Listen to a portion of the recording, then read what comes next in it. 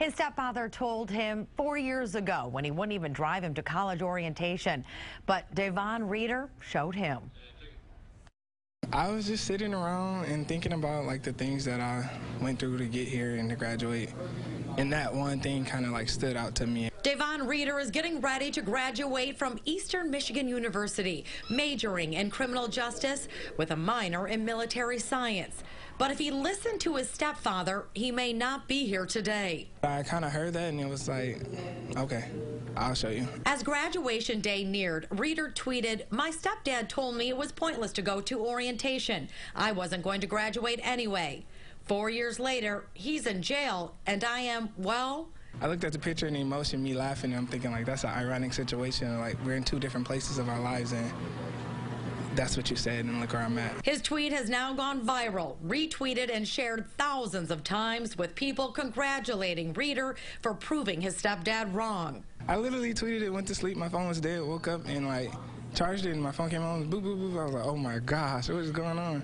It's exciting. It is. But the 22-year-old from Detroit, who was the first in his family to go to college, faced plenty of obstacles along the way. I came here on a scholarship. I ended up losing it, and then I had to go to basic training for the Army, and then I ended up coming back to work hard to get my scholarship back.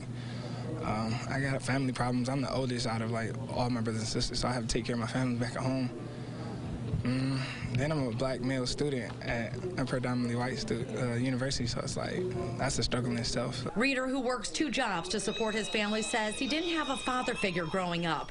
Instead of being angry, he and nine students formed an organization to mentor young boys, teaching them what he had to learn the hard way. Living our values, live, learn, teach knowing that I was living life, I was making mistakes, but I was learning from them, and I was able to teach somebody else. Reeder says he beat the statistics.